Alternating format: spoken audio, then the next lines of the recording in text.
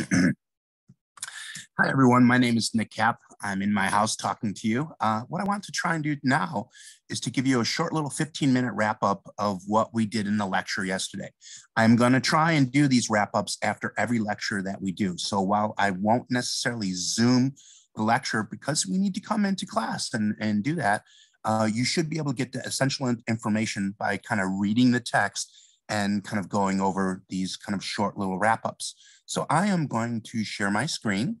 Uh, you see me on the side here. Uh, what I've done is I've gone onto our um, Canvas page. This will get a little bit better over, over time. But basically, uh, what I'm going to do is I'm going to do modules, and each module is going to correspond to a week that we will be doing. And so if we click on week number one module, you will see that um, uh, you will see that we have uh, the syllabus for uh, Biology 215. Uh, I tell you a welcome to biology. I also will give you and I will publish the uh, lecture materials for the class. These will all be pu published. And then I will do a um, short 15 minute wrap up for each one. And so again, we're gonna be doing that for this Wednesday as well as this Friday as well. Again, I'm meaning for the class to be a little bit more interactive. And so for that particular um, uh, way, uh, basically we're going to have to meet, need to be in class. And so, uh, but again, but if you do miss a class, go ahead and text me or, or email me cap at smccd.edu, and then we could talk about what you need to do. And so again, let's go first over the syllabus. If we cover the syllabus, again, this is organismal biology. Um, it's a combination of, of, of CRNs 30151 and 41373 and, and one other one. My name is Nick Kapp. I have a PhD in molecular and cellular biology from University of Illinois. And I've been teaching now for about 20 years. And, uh, you know, I love teaching. I love interacting with, with students and I love doing research and I love getting students interested in doing research. And so as a component of this class, we will be doing some research. Uh, our lectures will be held Monday, Wednesday, Friday from 11 till 12 uh, p.m., roughly 11:10 at Skyline. Things starts 10, 10 minutes after after the hour, and we're going to be in room 1213 uh, uh, 130, which is in our new environmental sciences building. So it's a, a beautiful building. Um, for the most part, I'm going to have my office hours on Monday after class from 12 until 2, uh, Tuesdays, Thursdays from 11 till 12 and then uh, Thursday from five to six, I, I, will have a Zoom meeting and you can click on the Zoom meeting and, and, look at it here. And so these are all opportunities for you to get a hold of me and I'll, I'll, I'll announce these uh, in a little bit. Again, my name is Nick Kapp and I am cap at smccd.edu. Kevin Davis, who's teaching it kind of as, as I'm recording it speak, um, he teaches the, the other lab section from 9 until 11.50 and he is Davis K uh, at smccd.edu. And his office hours are from noon until 1 p.m. in room 7102. And then on Wednesday from 2 to 3 p.m. And uh, he will be giving uh, a, Zoom link for that. Also, um, for this class, so for this class total, you're going to have three hours a week of lecture and six hours a week of lab, three and three, and then um, uh, three, one, hour lectures. You are also required to kind of come in at least one hour a week and do other things. So there's there's going to be times when you're going to be having giving lab assignments and you don't have enough time to do them in class. You need to come in, and so the TBA hours are a way for us to um, actually charge for those hours and to get some book uh, money back so that we can uh, hire somebody to take care of the, the laboratory. If you got into the class, I'm not really going to talk about prerequisites and kind of what you have ideally you should be reading at a college level. You should be able to do math at a college level. Um, biology is a composite science and, and really those kind of skills are, are really important. We are going to be using Canvas for all of our materials and kind of interact and stuff like that. And that is at smccd.instructure.com. Um, again, the best way to get a hold of me is cap at smccd.edu. An email is best because, you know, again, it's recorded and I will try and answer your emails when they come to cap at smccd.edu within 24 hours. The lecture text that we're going to be using is the Campbell 12th edition. Um, again, I know some of you are having some troubles getting a hold of, uh, uh, getting onto this one, and um, uh, we're, we're kind of working on that. The 11th edition, if you want to get a print copy, the 11th edition or a PDF copy, the 11th edition works just as fine and it's relatively cheap. The laboratory book, which we are going to be using, is CASE, uh, and um, we will be using the information from those books, but we will be using Google to kind of hand those materials in. In terms of a revision or makeup policy, there's there's really kind of no makeups. What I'm trying to do is kind of drop your lowest test. Because ideally, what happens in makeup is you get so excited or uh, so wrapped up in doing your makeup that you leave the materials and then you're constantly trying to keep up. And so um, what I'm going to be doing is, is, you know, for a lot of this is kind of your, your lowest labs will be dropping a couple of your lowest labs will be dropping um, one of your um, uh, validation uh, tenants. So again, attendance is mandatory. You should be coming in here and signing in for, um, for attendance and we will take that. Uh, academic integrity, I'll leave you to kind of read up uh, on that. Uh, there are supporting services that we have, and so go ahead and, and, and read and, and read these. But uh, if you have any questions, just ask me. If you have any questions, ask your counselor. And um, again, try and ask questions before things kind of really get uh, bad. For grading in this class, 60% of the class is going to be on the materials that you do in lecture, and about 40% of the class is going to be on lab materials. And a lot of times in lab materials, if you just come to laboratory, you're going to be okay on that. And so again, um, in, in labs, we're going to have roughly about uh, 40 labs. They're going to be worth roughly about 10 points each. And I will be dropping uh, uh, about five of those uh, labs uh, from you. So again, you want to take as many, you want to do all those as, as you can, but I will drop those. So if you don't come into class and stuff like that, I will be able to drop those. I'm not going to drop more than five, five of those. Uh, we will have three calibration quizzes. There is extra credit that's available on this. This uh, Friday is uh, an extra credit opportunity that will be sent, sending out.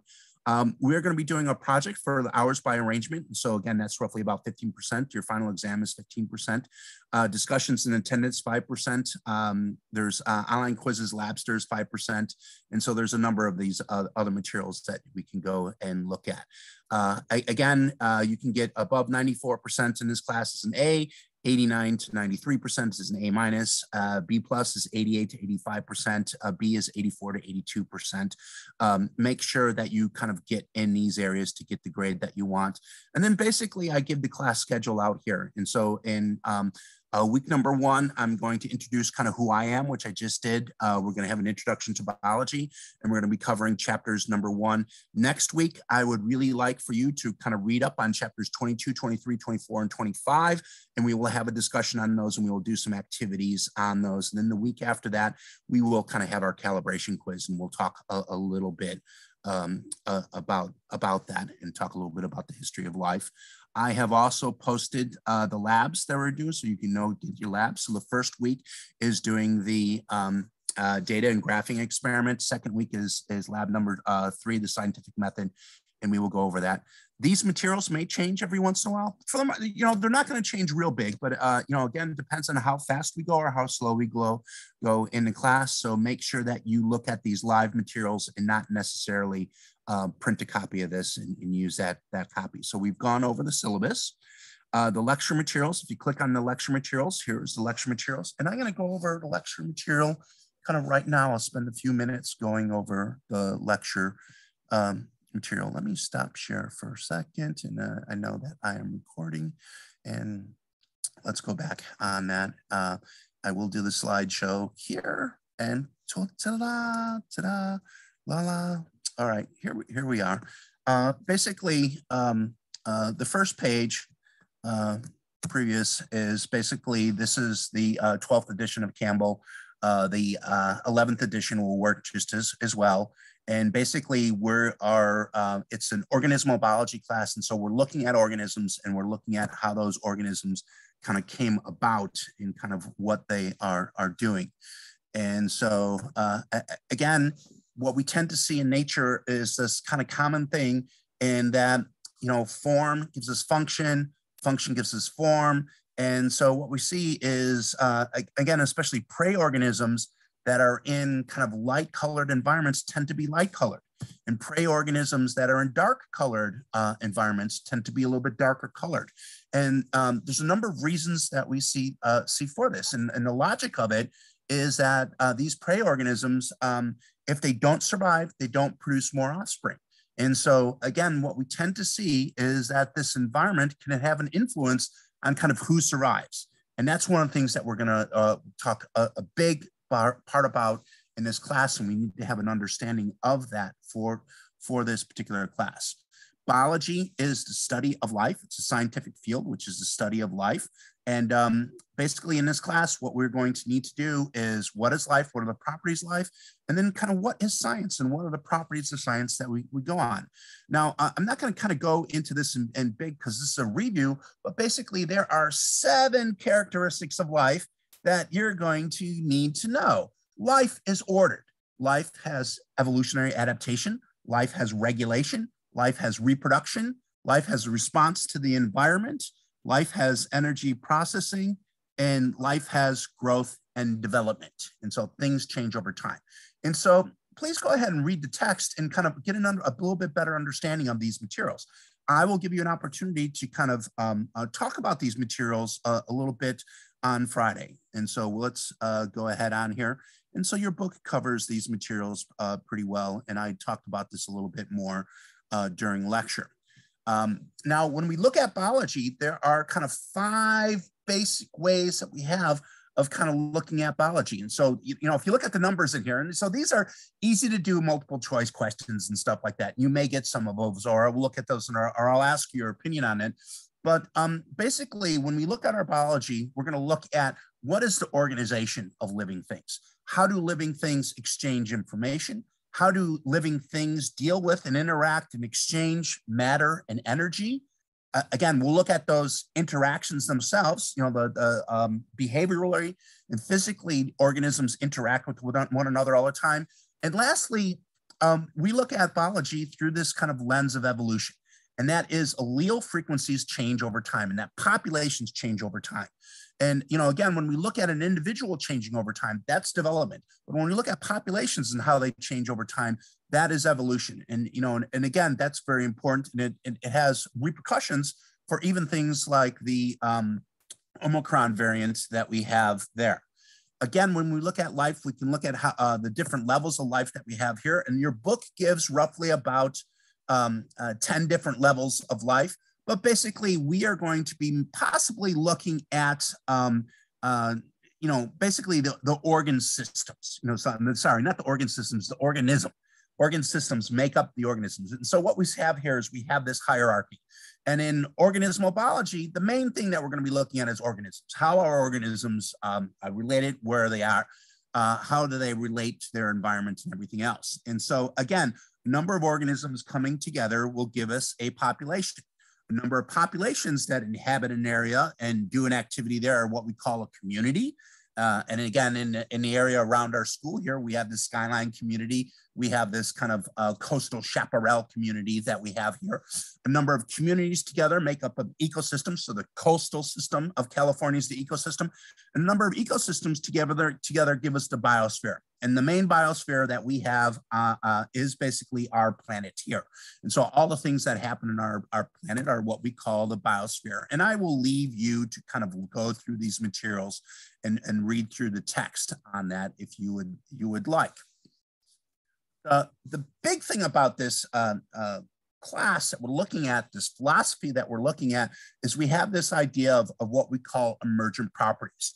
And emergent properties basically result from the arrangement or interactions of parts within a system. And so, uh, you know, again, you can have a bike of bicycle parts and it's still a bicycle, right? All the parts are in there, but they're not arranged together. And we tend to see that in life. And so it's been very difficult for us to create life because even though we've taken this reductionist aspect on it and we can know what all the parts of life, we can give you the seven characteristics of life, we can't make life itself because we don't know what those emergent, uh, you know, how to set up and make those emergent properties that occur from life. And so this is one of those things uh, that in our studying, we're going to be looking at it. And we do kind of two ways. Um, really, we're kind of looking at things uh, two, two ways in our biology is that we're looking at the parts uh, and then we're going to look at it as what we call systems biology. What happens when we put those parts and kind of let them run? And so, one of the reasons why ecology is such a difficult field to look at is basically we're looking at a system that has lots and lots and lots of, of kind of moving parts. Um, another concept that we're looking at in the biology is structure uh, and function. And so a lot of times what we tend to see is the structure that we look at also gives us the function. And so again, if you look in the cover of your lab book, we have a penguin and we have a shark. Uh, these are totally different organisms, but again, swimming through water, we see that they have to function swimming through water. And so they get a lot of the same structures in order to help them um, kind of do that. Uh, again, here's a nice picture of a hummingbird. And then um, uh, again, what we're going to look at in life, we'll look at the history of life. There's two major um, types to life that we look at, what we call the eukaryotic and the prokaryotic cells. And we'll talk about, and there's some figures on there's a little bit more. We'll kind of go on that and uh, the information. Um, we are, in this class, we're really going to look at uh, genetics and, and kind of what genes are. The gene is the basic unit of inheritance that we're going to be looking at. Development is how these genes interact with one another in order to go from a very simple structure, which would be a fertilized egg, into a more complex structure, which would be a kind of a living, breathing human being. DNA is involved in this. We're not going to get, uh, we'll lead the structure function of DNA um, for our cell and molecular biology class that will be coming up. Uh, but again, we will cover topics like genomics and proteomics, which are basically the sum total of the genes that are in that species. And again, we can have something called the microbiome or microbiomics, which are the uh, sum total of the genes of the microorganisms that are associated with us. Um, so again, what we see is you really need to kind of use your computers, um, not only for kind of word processing, but there's a lot of information that we're going to be looking at, and then hopefully we'll get a chance to kind of look at that in this um, class. And so uh, again, when we're looking at energy usage of um, life, we have what are called the producers and the consumers. The producers are those organisms that actually use the kind of resident energy of the system. And in our system, it's mainly the sun. They convert that um, um, resident energy into chemical bond energy, which then the consumers, which are the rest of us, can use. And there's a whole cycle uh, like that. And again, when we look at that cycle, there's a cycle of energy and how energy flows through a system, and we'll talk about that. But there's also um, how matter kind of flows through the system as well. And we'll take a look at that. We will take a, uh, we won't uh, uh, that much look at kind of, uh, you know, it's important for us to know things like feedback regulation, which I, I want you to kind of look at a little bit. And then uh, what I wanted to do is to kind of stop there. And, um, you know, we're looking at our environment. And so when we look at things uh, in our ecosystems, we have an exchange of energy and we have an exchange of matter. And this uh, materials kind of moves back and forth. And we will talk about that a little bit more in class. Um, this has been my summary, my 15 minute wrap up of kind of what's going on. You need to read chapter number one and kind of be aware of what's going on with chapter number one. We're going to have some discussions on Friday uh, using a discussion board. And so I will talk a little bit about that and we will um, uh, have that activity on Friday and we will look at kind of what's going on with that ac activity. Again, for this biology, organismal biology class, it's basically in person. Sorry, you're gonna have to mask up and come out, um, you know, try and be as safe as you can. We will look uh, out for each other and be as safe as we can, but we need to get some activity in our laboratories and we need to get some activities together and looking at this material. So it's been really fun uh, interacting with you. And um, uh, again, thanks a lot for, uh, for coming. And this has been the end of uh, lecture number one wrap up.